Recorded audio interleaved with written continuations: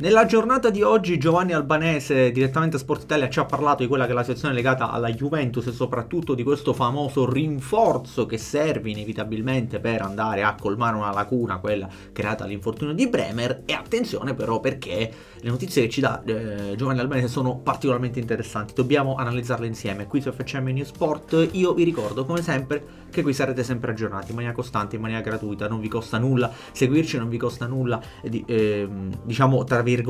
eh, tenervi aggiornati sulle vicende della vecchia signora, vi basta iscrivervi al canale, lasciare like ai contenuti, se vi va condividete sui vostri social, sulle vostre varie piattaforme questi contenuti per allargare sempre di più questa community che eh, ama discutere di calcio in maniera sana e genuina e trasparente. Eh, trasparente è stato anche Giuntoli nel dire sì, ci serve evidentemente un rinforzo per quanto riguarda la difesa, lo ha detto chiaramente di fronte ai microfoni di Dazon ed è per questo quindi che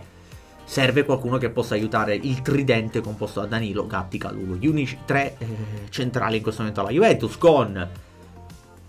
Gatti che ogni tanto c'è, ogni tanto non c'è, Calulu che era partito per fare il terzino e Danilo che da centrale sta dando parecchie complicazioni. Quindi quali sono gli obiettivi? Diciamo che eh, Albanese ci parla di due nomi, il primo che è abbastanza risaputo, il secondo è un'assoluta sorpresa che non ci aspettavamo e che è però l'alternativa del primo. Perché se per qualcun altro l'ipotesi Ismail è un'ipotesi concreta, Giovanni Albanese non la prende in considerazione e dice il numero uno e il sogno della Juve è Milan Skriniar. Eh, Milan Skriniar è il nome scelto alla Juve che ha intenzione, e, e Albanese ci ha detto più volte, di andare incontro a un, a, a un colpo secco, cioè a gennaio non c'è tempo di sperimentare, Ismaili è troppo una scommessa. Skriniar è un nome certo, un nome concreto, un nome valido. Ehm, di settimana in settimana vediamo che c'è sempre meno presente il nome di Skriniar all'interno dei tabellini della Liga e della Champions League per quanto riguarda il, ehm, il contesto parigino, dove Luis Enrique non lo vede proprio. Ed è per questo quindi che Skriniar, che in Italia ha lasciato un bellissimo ricordo tra Sampdoria e soprattutto Inter, continua a essere quel nome che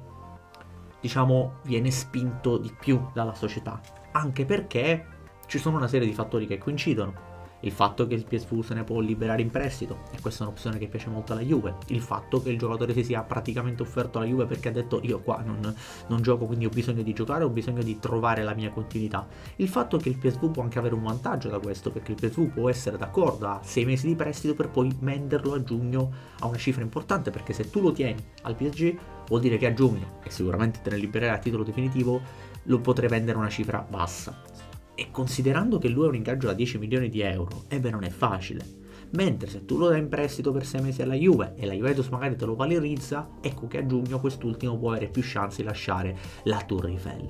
Ehm,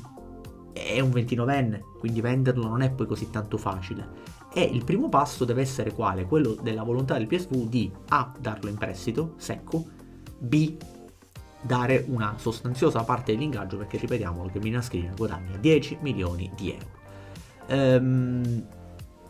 di fatto sappiamo che il rapporto è praticamente nullo col suo allenatore e lui più volte eh, l'ha detto, ha detto la situazione non è quella che, che mi aspettavo, non sono felice, continuo a allenarmi bene e lavorare sodo, certo mi piacerebbe avere più opportunità, ma rispetto le decisioni del mister. Di fatto eh, gli agenti di Skriniar si stanno già muovendo per capire quali sono le possibilità concrete la Juventus è una di quelle. Attenzione però perché Giovanni Albanese ci dice occhio perché la pista screener non è scontata, cioè sì ci sono le probabilità che questo possa avvenire, c'è un trasferimento e anche alla Juventus a gennaio, ma non è poi così scontata perché quando si parla di cifre così importanti non va dato per scontato nulla e quindi si valutano delle alternative. l'alternativa che secondo Giovanni Albanese è la più probabile, la più plausibile, la più interessante è quella di Yaka Bijol centrale difensivo dell'Udinese che da un paio di stagioni sta mettendo in mostra a Udine a fronte di un contesto che lo ha valorizzato in pieno e, ehm, ed è il classico giocatore su cui la Juventus potrebbe puntare, nel senso che anche questo potrebbe essere, diciamo, un colpo alla, alla Calulu, se vogliamo dirlo. In che senso? Che è il classico nome che quando lo metti in circolazione, quando Giuntoli magari lo propone, può essere un nome che non fa saltare dalla sedia nessuno, perché di fronte a un nome alla Skriniar tutti dicono, eh, è un nome che ci fa saltare in aria, è un nome che ci fa fare il salto di qualità. Di fronte a un nome come quello di Bijol, magari non esattamente, però è un profilo che eh, piace soprattutto a Giunto. È un nome che piace perché lo vede come un, una sorta di nuovo screener, uno screener che può arrivare. Lui ha 25 anni, è un profilo che piace, anche in questo caso però non è facile, tra virgolette, non è facile eh, andarlo a bloccare. Perché? Perché eh, l'Udinese sicuramente non lo cede in prestito. Giovanni Albanese ci dice che il prestito secco è un qualcosa da scartare completamente. Eh, quindi eh, diciamo che se questi ultimi lo dovranno vendere, lo venderanno a titolo o meglio con un prestito con obbligo condizionato a determinate condizioni. Esempio, la Juventus si qualifica in Champions League, ecco che scatta l'obbligo di riscatto da parte della Juventus. E quindi vedremo. È un nome che intriga, un nome però che non sembra esattamente in linea con quello che è il calcio di, di Tiago Motta, perché a Tiago Motta piacciono più i difensori che si possono staccare alla linea e Bigiolo non è esattamente così. Bigiolo è un difensore più vecchio stampo, centrale difensivo, sì, bravo a impostare, però non è esattamente il, difensore che sale dall'altra parte della, eh,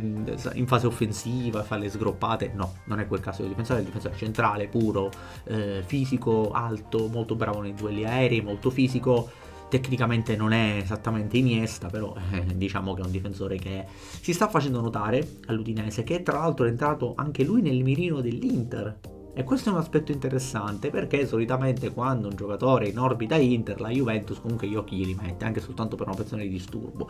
Io credo che questa possa essere più un'operazione di disturbo che altro. Detto ciò, gli ottimi rapporti tra Juve e Udinese potrebbero agevolare, come vi dico spesso, la situazione Juve è sempre agevole in quanto dal settore next gen possono sempre arrivare delle risorse e quando si tratta con squadre come il, eh, in questo caso eh, appunto come l'Udinese, che lavora molto bene con i giovani, la carta next gen può essere una carta molto sfruttabile e molto utilizzabile da parte di Juventus. Quindi staremo a vedere, analizzeremo il tutto, cercheremo di darvi continuità con questa notizia. Eh, ripeto, sono vari i nomi che stanno facendo per quanto riguarda la difesa, però a mio avviso ce ne sono alcuni che hanno più quotazioni rispetto ad altri